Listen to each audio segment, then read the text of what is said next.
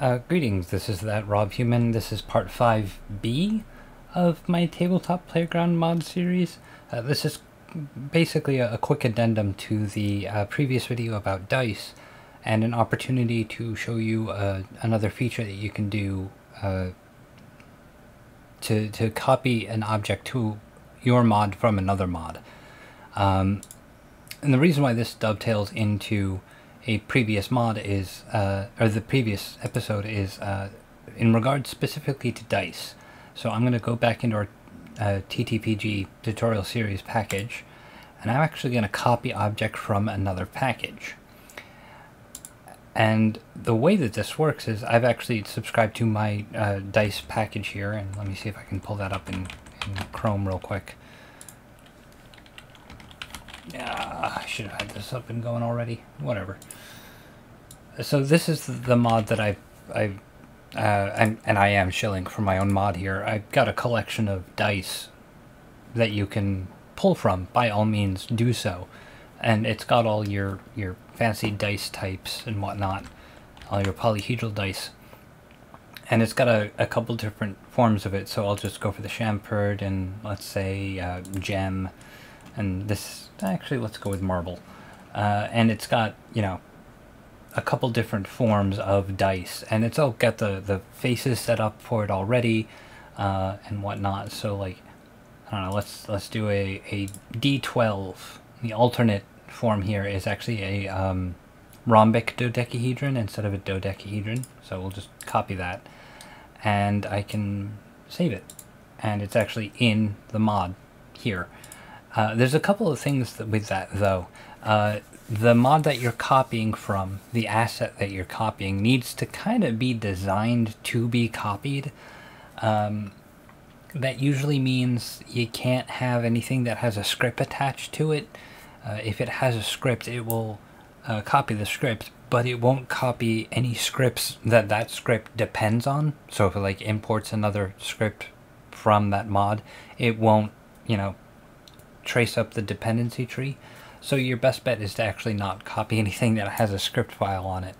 Uh, so if, if you're a mod maker and you want to make a utility mod like the dice mod here that I have, um, it's best to advertise that yes, you can copy individual items from your mod into another mod without any issue. Uh, it does copy all the models and textures along with it, so like if I actually go over to our our series here, you'll see it actually copied over the thumbnail, the template, the meshes, and the texture. Um, and it, it's not a problem. Uh, but if it had a script, it would copy that script, but not any imported scripts from that script. So bear that in mind if you're ever doing any kind of like utility mod. Uh, the other thing I would recommend here is um, it doesn't resolve conflicts of like texture names or, or model names. So like, for example, in the dice mod here, um, all the textures and models are actually namespaced. So like there's a directory called that Rob Human and then dice and then uh, it's got the names of the stuff that you'll be importing.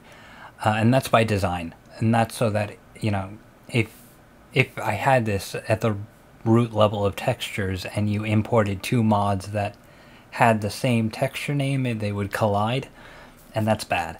Uh, so whenever you make a um, utility library like that, you want to namespace your textures and models and any other asset that you have. Um, templates are fine because they're guaranteed to pretty much be unique. Um, likewise, thumbnails won't be a problem, but like textures or sounds or fonts or models. You want to namespace a directory that are like to reduce conflict possibilities. Um, so yeah, if, if you are in need of dice, uh, feel free to, to subscribe to this and copy it into your project, at which point you can play with the textures to your heart's content. Um, I've laid out the UVs so that they're fairly intuitive. They're all aligned the same way. I don't think I have any dice where they're...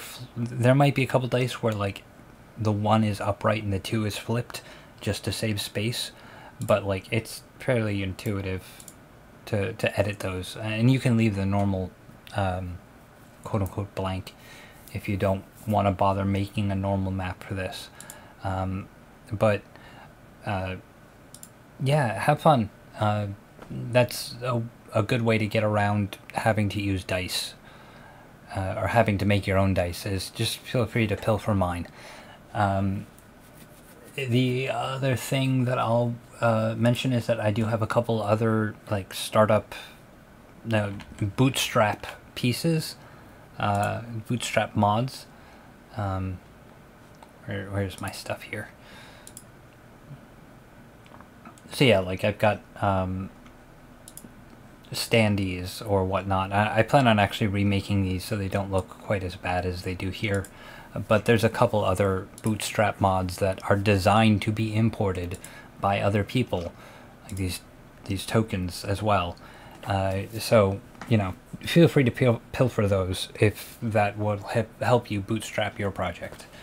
Uh, just subscribe to it and you can copy from project into your mod. So yeah, have fun. Just wanted to mention that, and uh, we'll continue on with part six in the very near future. Bye.